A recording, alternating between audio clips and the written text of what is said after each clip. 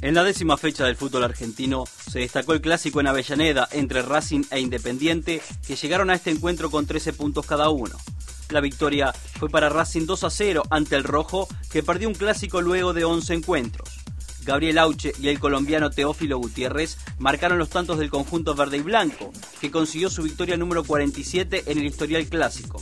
Independiente lleva 69 triunfos y empataron en 62 ocasiones. Godoy Cruz de Mendoza se quedó con el invicto de Argentinos Juniors. Lo venció 1 a 0 con gol de Diego Villar. El conjunto dirigido por Jorge da Silva tiene 17 unidades, uno por debajo de Vélez que igualó ante Colón, y de River Plate, que está jugando frente a Gimnasia Esgrima La Plata. Quilmes consiguió la primera victoria en el torneo, venció a Newells All Boys 3 a 1.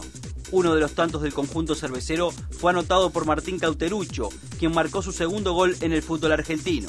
A pesar de la victoria, Quilmes continúa en zona de descenso directo. Además, igualaron Olimpo ante Estudiantes 2 a 2 y Boca Juniors frente a Tigre 3 a 3.